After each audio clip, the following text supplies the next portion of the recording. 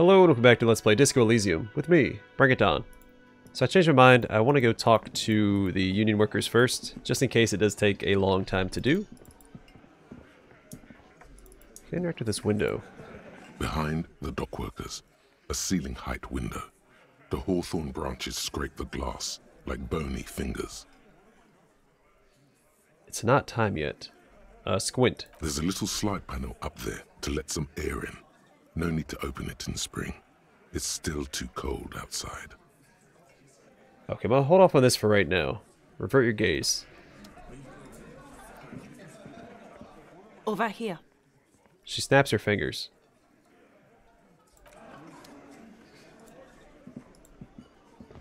Let me handle this. The woman says to the crowd in the mess hall before turning to you. Detective disorientated. Are you still wondering where you are? This is Martinez, in case you've forgotten. I advise you not to overstay your welcome. She smiles coldly. Her entire character has shifted. This young woman is cold as ice.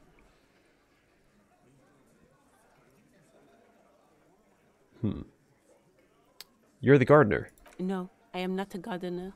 I'm a legal counselor for the Dock Workers Union. She crosses her arms. So let's get to it.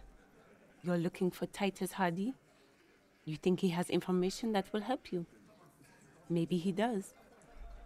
She points to the man to her right, or on her right. That's Titus. Talk to him. But know this I'll be keeping an eye on you. No strong arming, nothing official.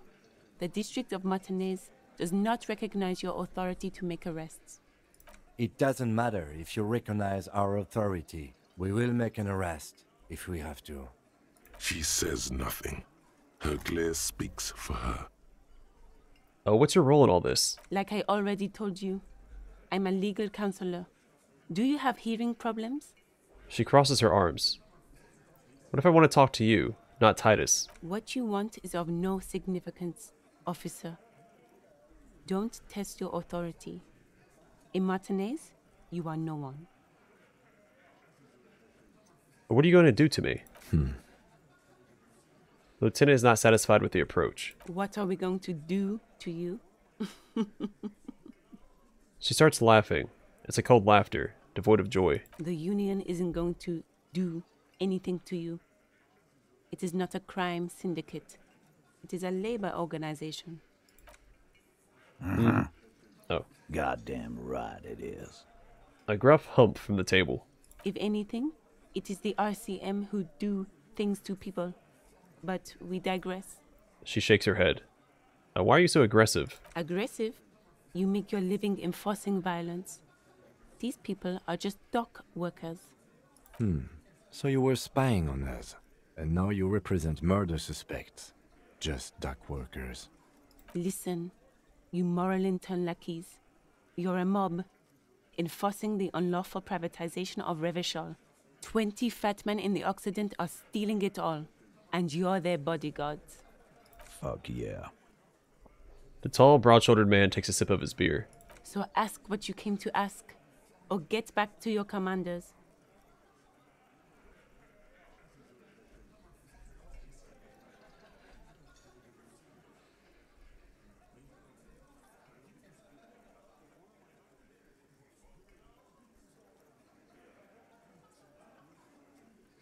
Um, I don't really like any of these comments.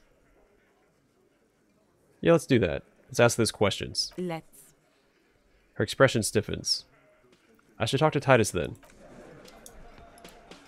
Alright, Titus, let's chat. This is where you say your bit. A broad shouldered man points at you with a beer can. Detective, The lieutenant acknowledges you with a sharp note. Note. Uh, he's leaving it to you.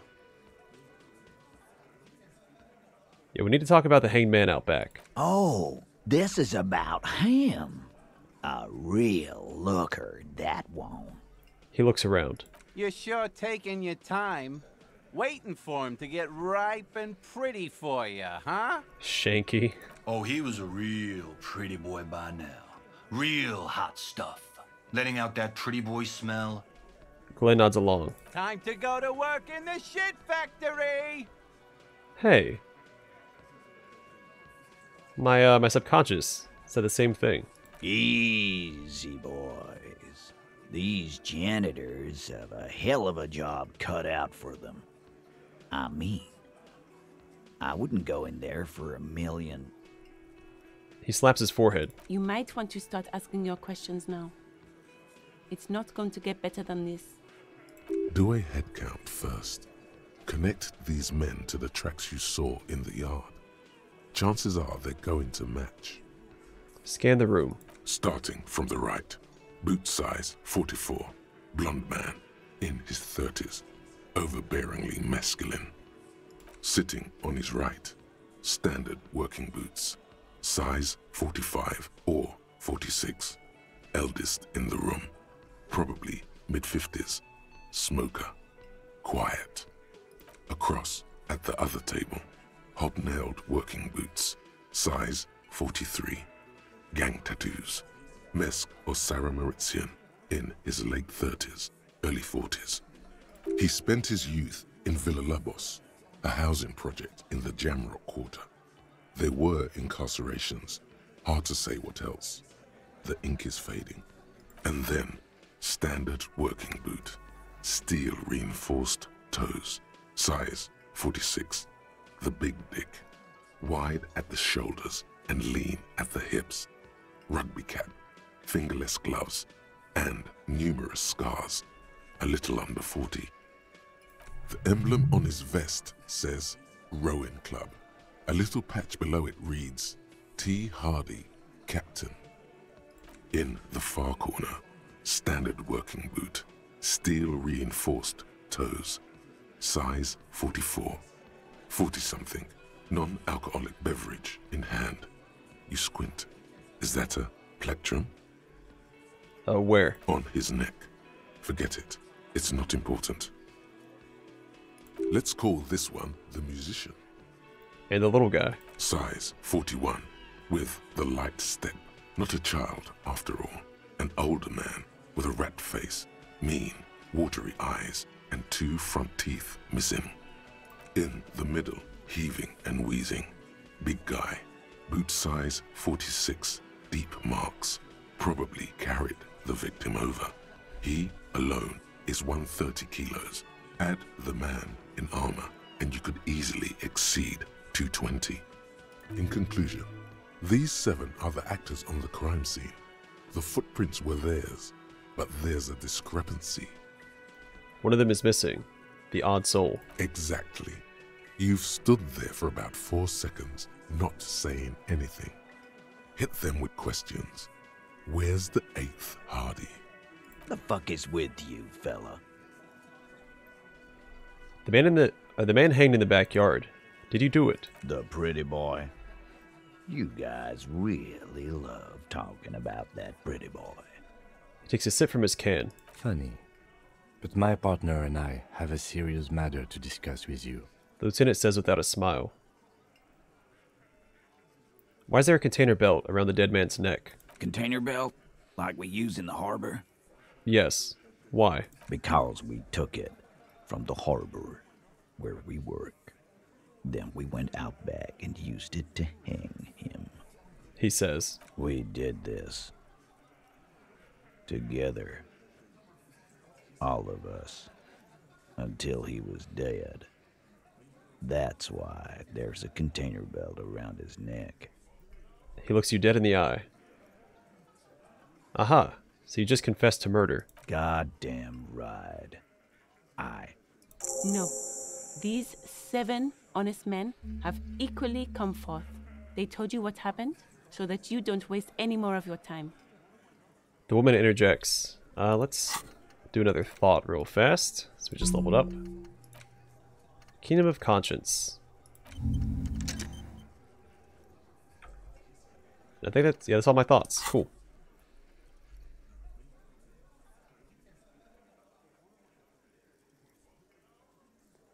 You murder him just like that. No remorse. How many people have you sent to the Shays? Ever felt remorse for them? Chaise électrique is the method of capital punishment in Revachol under the coalition. During the suzerain's reign, It used to be the firing squad. Or send them to Reunion to rot. For 20 years. For life. He says it as if it were worse than dying.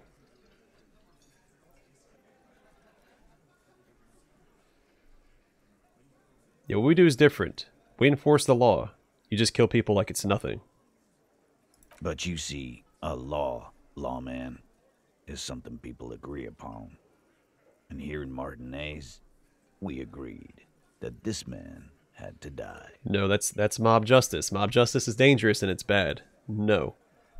Uh, he says, squeezing his beer can. Who called the shots that night? Are you deaf? There will be no singling anyone out. You can't arrest a Hardie Boy without arresting all Hardie Boys. I used to read the Hardy Boys, okay? They were they were good good kids. Do you think you could do that? Do you think you could arrest them all?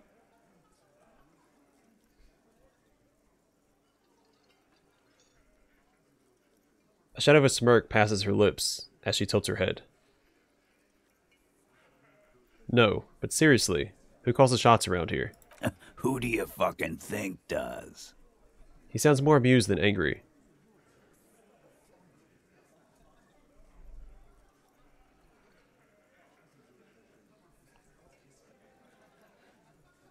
Fat Angus. Um, hmm.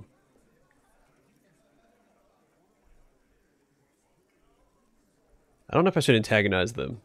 Let's bow to the bearded man. Gangs are usually run by the oldest, most venerable member. the old man lets out an annoyed cough that reaches into his pocket for another cigarette. Theo's a great guy, a, a great guy, but come on. Titus Hardie runs the Hardie Boys. That's why we're called the Hardie Boys, genius. He spreads his arms. I think you got your answer, Mr. Law. Titus grins. Yes, there are some administrative differences. But on that night, they all acted as one man. She gives Titus a stern look. Now, why did this hanging incident occur? You don't have to keep answering his questions. The fixer turns to remind Titus. I know, Lizzie. Relax. We killed him last Sunday night. Seemed like a good way to end the week. He takes a sip. How long had you known the victim? Known him? We don't associate with scum like that, asshole. Yeah. Who do you think we are? Quiet. He came around about three weeks ago when that Pines cow first sailed into town. Happy? Titus gives Glenn a stern look. By the Pines Cow, you mean Joyce Messier? The representative for Wild Pines? The same company you are striking against? Lieutenant pretends to check his notes. No. I mean the Pines cow. The stupid ass cow they sent in to fuck us over. But you know what? He rubs his chin, pretending to mull it over. Why don't you ask her about the pretty boy? I'm sure she has interesting things to say when you ask her hard enough. That's enough insinuation for today, Titus. Officer, your interview is drawing to an end. Don't waste your last questions. She turns to you. Why did you kill him? Why? Cause he was worthless mercenary scum. And he stepped out alive in my town. He hisses through his teeth. So he was a mercenary. That's it. And he stepped out of line. He repeats, jaw clamped shut like a vice. What kind of mercenary? The kind that shows up when you start a strike. The experienced kind, too. Had Kohoy and Semenine written all over him. Ex Oranjese Special Forces. A live grenade. Right here in our bar. The man spreads his arms. I can't prove it, but I know he was sent by the Wild Pines. They hire merc shit like that. Story of every strike from here to Samara.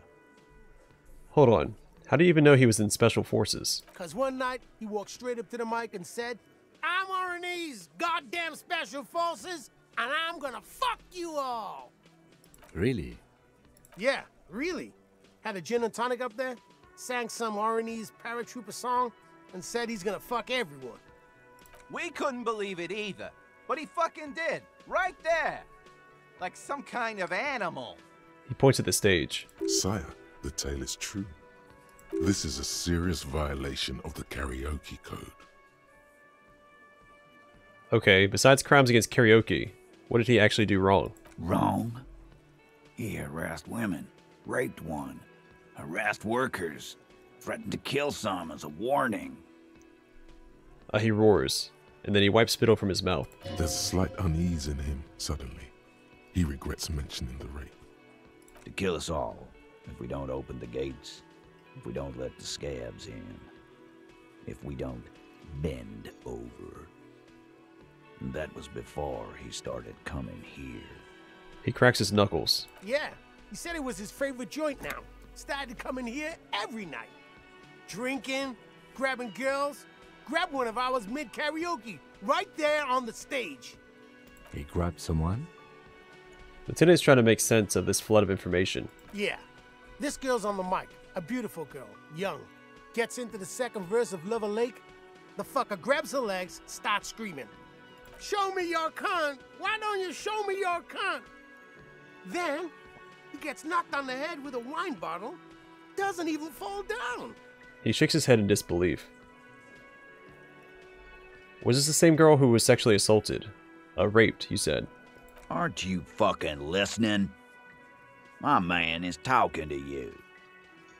He took care of it. They got the girl out before anything else could happen. Yeah, me and Eugene got her out. Aren't you fucking listening? He repeats like a parrot. There's something odd here. Yeah, right. But who did he rape then? This is a very serious allegation. No. You're not getting the name. That's a Martinez matter. And I'm not discussing it with you clowns. There's a moment of silence. There's nothing you can do for now. He's stonewalling you. So how did you kill him? We hanged him up by his neck until he got real still. Wasn't that obvious, Copper? Didn't they teach you anything at the cop school, idiot? This is where an autopsy would come in handy. You have to work with what you know. We need more. Did you muffle him? We haven't heard any reports of screams. Titus, you don't have to clarify anything. We overpowered him, dragged his unconscious body to the tree, put a noose around his neck, and hanged him till he was dead and steady. Then we left him for seagulls, maggots, and you fucks. The small man points at you. Make them a bit more uncomfortable first, then see if it all adds up. Wasn't he a trained killer from Oren- Oranjese special forces? If yes, then how did you manage to overpower him? With numbers, asshole. How do you think? You're right, Lizzie. I've done enough explaining here. He looks at the woman. No, he hasn't. Not yet. Where does overpowering happen? Weren't you fucking listening? The fucker came to our bar. It happened right here. He looks around. Man, a 28% chance is not great. Uh, things aren't quite right here, are they?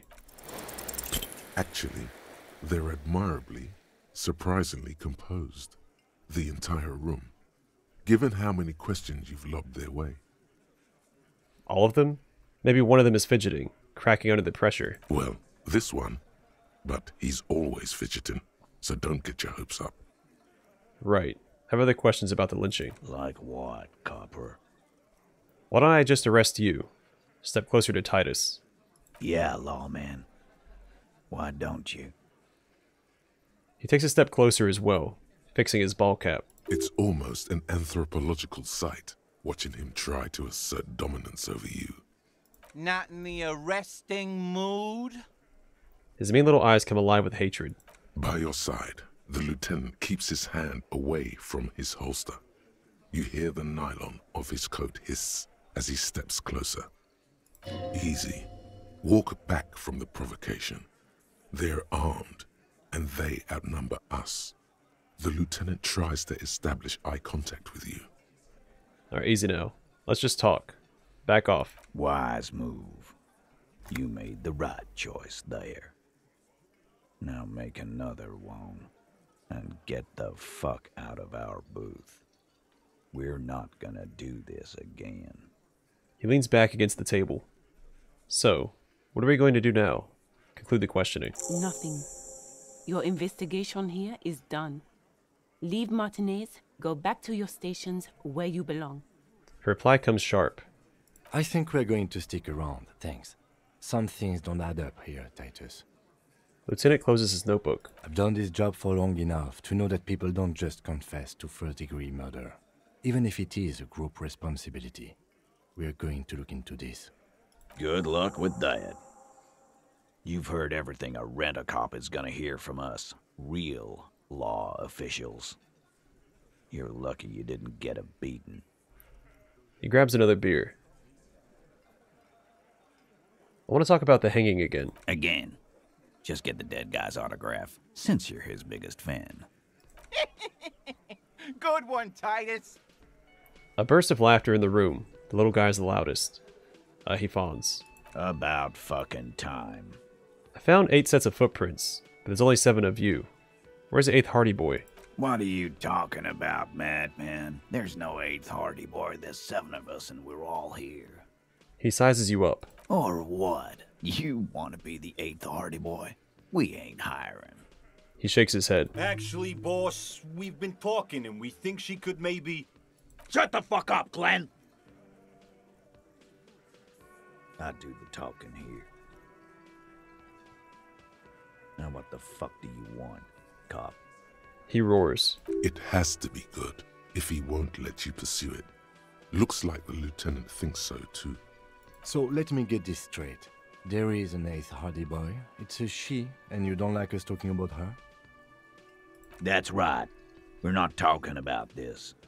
This is a private Hardie Boys matter. Nothing to do with your shit. End. He points at the lieutenant. You're not cops here. Don't go digging around if you don't want a bullet in the back of your head. I'm watching you. Good. We are all watching each other. Officer, your question. Lieutenant adjusts his spectacles. I love Kim. Just taking it all in stride. There's no point in pushing it further, he thinks. This is already a victory. We'll learn more about this eighth Hardie sooner or later. Alright, I'm going to take off now.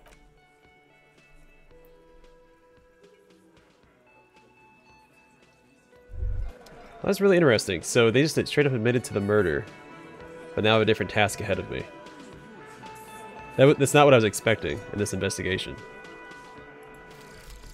Indirect modes of taxation. Turns out, those Financial Oversight Committee gangsters stuffed millions of hard-earned dividends away in the last place anyone thought to look. The hearts and minds of everyday Revacholians. You need to spread that deregulation gospel to the people. Tell them about that foreign fair tax. Preach that 98% gross burden. Preach it, preacher man. Set the brothers free. Taxes are racist. Ultra liberal dialogue options give plus one real, minus one empathy, thinks he's a hustler or something. Okay. I think that was the one that was minus two to empathy while I was researching it, right? Yes, and that's only minus one. I've got nothing to say to you. Why are you wasting your time? She crosses her arms. Are you the Hardie girl? I am not. She says dryly. You could be Liz. You could be anything. You could even be a model. Even a mod? Glenn, I went to law school. I am an attorney. Her face stiffens. He's right. With a face like that, she could be on the cover of Le Debutante International. Uh, he's right, you know. You're very pretty. The cold look in her eyes speaks louder than words. She is not amused. It's not her. She's not a Hardie girl. Definitely. Alright, maybe we'll talk later. Alright. Uh, let's talk with the cook first, and we'll work our way back through all the uh, denizens of the Whirling in Rags. The man ponders his cooking utensils and gives you a little nod, acknowledging your presence. Is that the new to say? Prove authority, buy fallen pants from Cuno, smoker on the balcony, looking for armor, and closing the trash.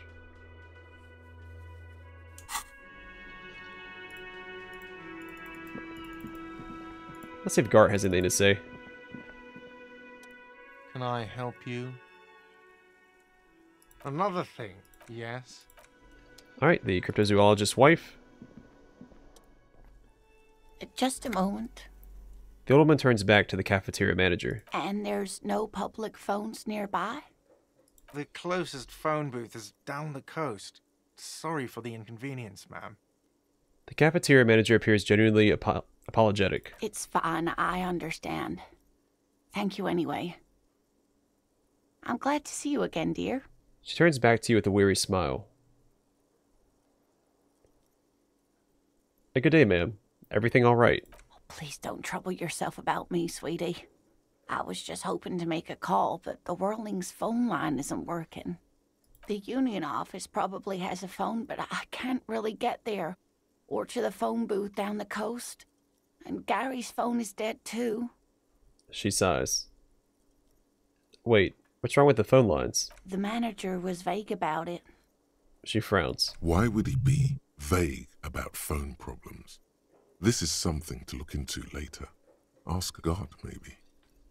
Why did you need to use the phone anyway? To let the young woman who's house sitting for us know that we may be delayed. Morell, my husband, and Gary were supposed to get back by Monday night, but they're still missing, and I haven't heard from them. I was also hoping she'd heard from Morell. She looks down. A little missing persons puzzle might just be the thing to take your mind off the hangover. Okay, I'll bite. Has your husband gone missing before? That's just it. This isn't like him at all. He always plans his expeditions so carefully. But you have more important things to worry about. She glances out the window toward the bay. Uh, what is this expedition your husband was on? Just some field work, sweetie. Morell is a highly trained scientist. He and his assistant Gary are studying an extremely rare species of insect. But they should have returned by now. They were just going down the coast across the water lock to set a few traps. He said they'd be back on Monday. What could be keeping them? She sighs. The water lock. That was broken. Could this be it? Wait, who's this Gary person? Do you trust him?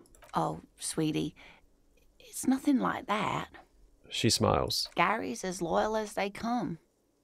I trust him with my husband's life any day. The water lock on the other side of the coast is broken. They're probably just stuck over there. Oh my. What happened to the water lock? Uh, probably just some technical problem. Well, whatever the cause, I'm thankful. To both of you. You've spared me another sleepless night. She turns to the lieutenant. You're welcome, ma'am. I hate to ask, but if your investigation takes you to the other side of the coast, please do keep an eye out for my husband. This will surely lead to a cryptozoological mystery with that extremely rare insect. Yes, some left field scientific research is exactly what you need right now. Funk up that vanilla murder investigation. And if you see him, let him know Lena is waiting for him here at the Whirling.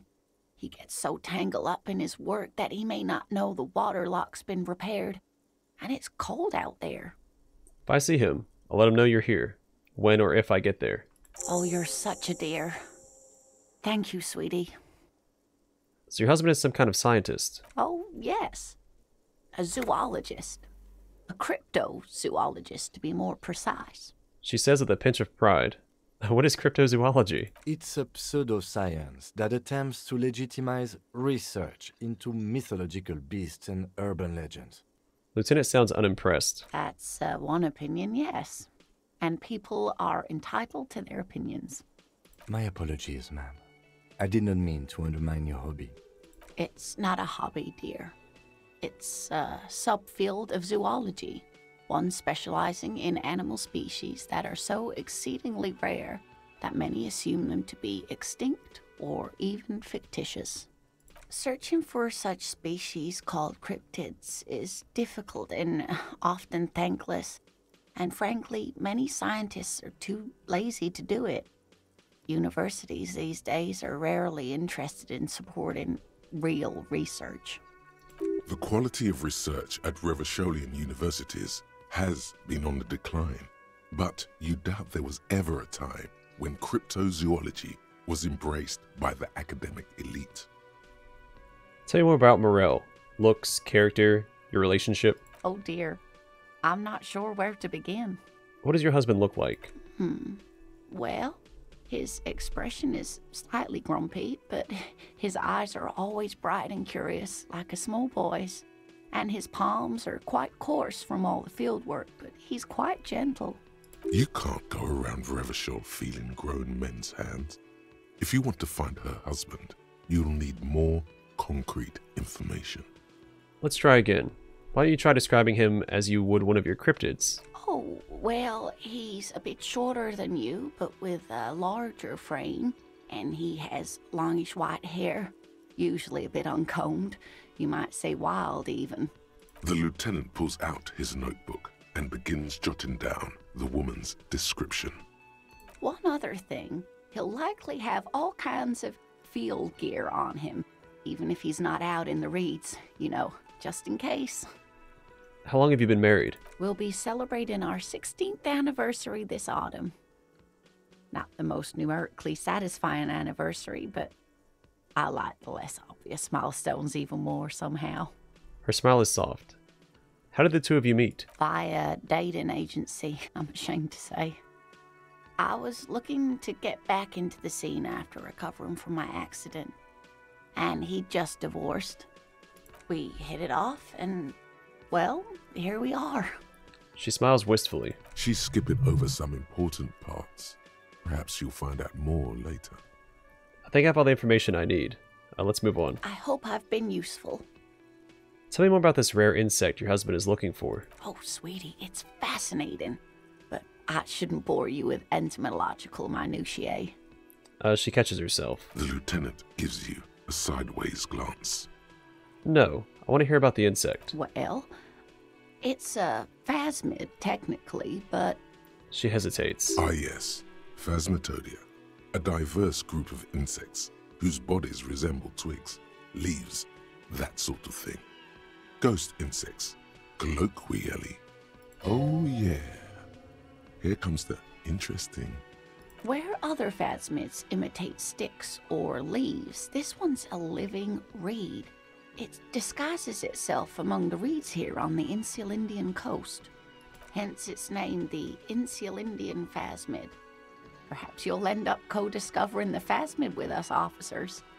She looks you in the eye and nods thoughtfully. I knew it.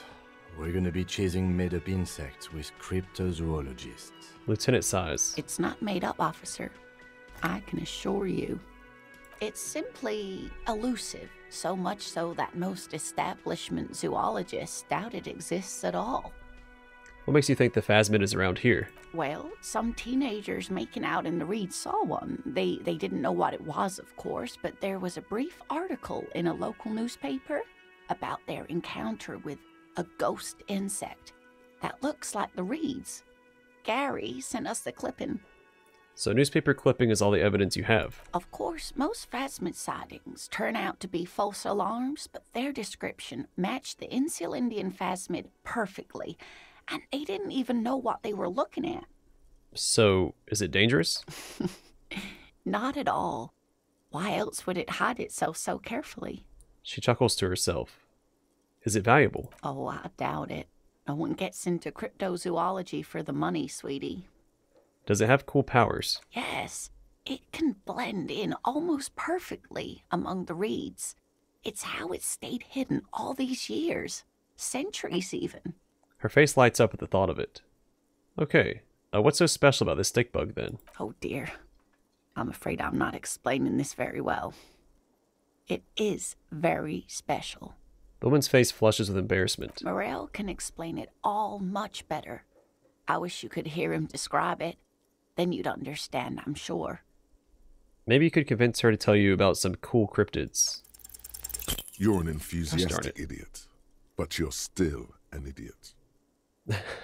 I want to know everything about cryptids. Living cryptids, extinct cryptids, marine cryptids, land cryptids.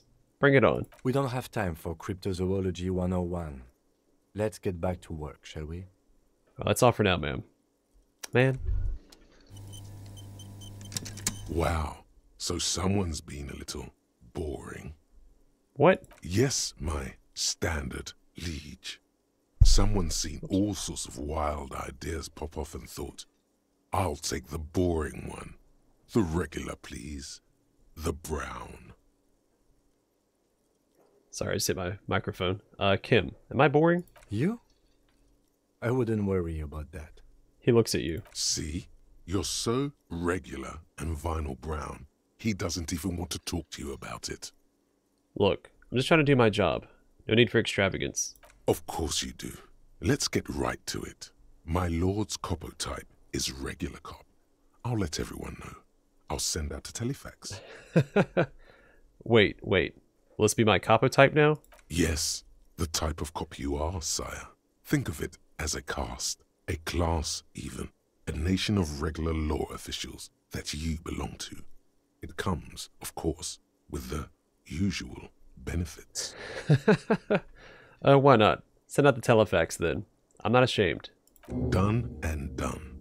No actual communiques will be sent, of course. That would be too dramatic.